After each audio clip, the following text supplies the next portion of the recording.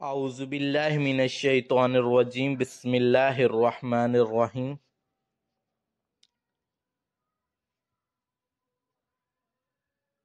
नरान पाकिस्तान झील सैफुल मलूक झील सैफुल मलूक नरान पाकिस्तान में 3224 मीटर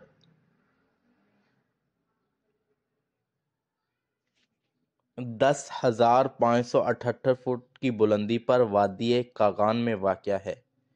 करीबी कब्ज़ा नरान से बजरिया जीप या पैदल इस तरह, इस तक पहुँचा जा सकता है। ये एक इंतहाई खूबसूरत झील है। दुनिया भर से इसे देखने के लिए आते हैं मलका पर्वत और दूसरे पहाड़ों का अक्स इसमें पड़ता है। साल के कुछ महीने इसकी सतह पर बर्फ़ से जमी रहती है।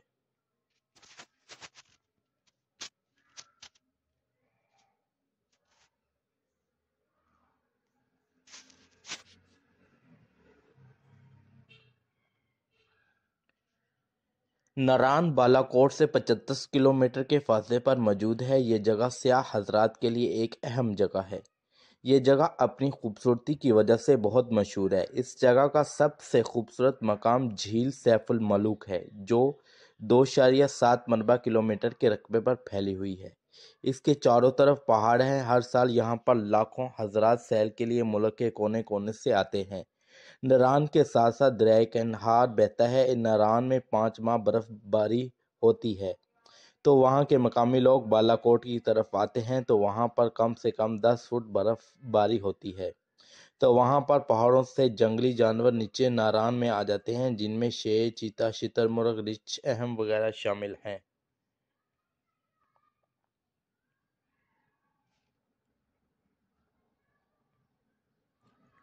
वादी कगान ज़िला मनसेरा खैबर पख्तूनख्वा की एक हसीन वादी है, जो अपने कुदरती हसीन के बास आलमगीर शहरत की हामिल है। पाकिस्तान के शमाली इलाकों में वाक़ कई मरूफ तरीखी व हसीन मकाम इस वादी में वाक़ हैं। आठ अक्टूबर 2005 को कोने को आने वाले तबाहकुन जल्जले से इस आबादी को भी नुकसान पहुँचाया वादी कागान का नाम कागान नामी कस्बे से पड़ा। दरियाए कन्हार इस आबादी के कलब में बहता है। यह आबादी इक्कीस मीटर से दूर बाबूसर तक सतह समुद्र से चार हज़ार एक सौ तिहत्तर मीटर तक बुलंद है और एक सौ पचपन किलोमीटर पर फैली हुई है। यहाँ की आबादी पश्तून और उर्दू बखूबी जानती है। ये इलाका जंगलात और चरागाहों से हटा हुआ है। और खूबसूरत नज़ारा इसकी ज़मीन पर जन्नत बनाते हैं।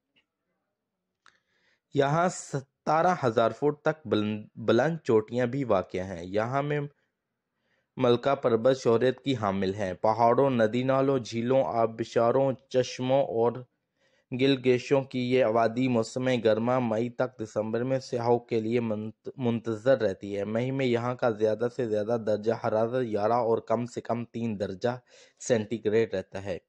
जुलाई की वस्त से सितंबर के अख्ताम तक नारान से बाबूस्टाप का रास्ता खुल, खुला रहता है। बरसात और मौसम सरमा में वादी में नकलो व हमल मुश्किल हो जाती है। इस हसीन वादी को बालाकोट, एबटाबाद और मानसेरा से बसानी रसाई हासिल की जा सकती है। बालाकोट से बसानी बसों या दीगर ज़राई नकल व हमल से कागान और नारान पहुँचा जा सकता है। बालाकोट से नारान तक के तमाम रास्ते में दरियाए कन्हार साथ साथ बहता रहता है। और हसीन जंगलात और पहाड़ दावत नज़ारा देते रहते हैं। रास्ते में क्योट पार्स चिनोर और चाय जदीद और मंटारी के हसीन कब्जे भी आते हैं।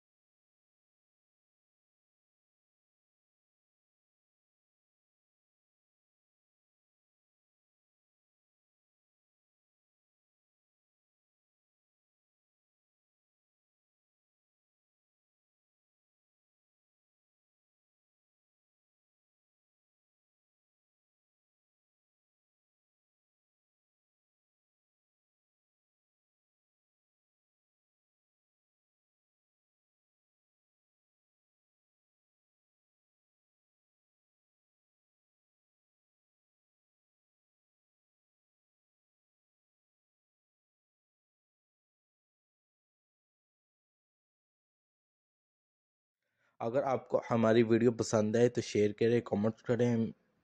वीडियो को देखने के लिए सब्सक्राइब ज़रूर कीजिएगा। अस्सलाम वालेकुम वरहमतुल्लाहि वबरकातुहू।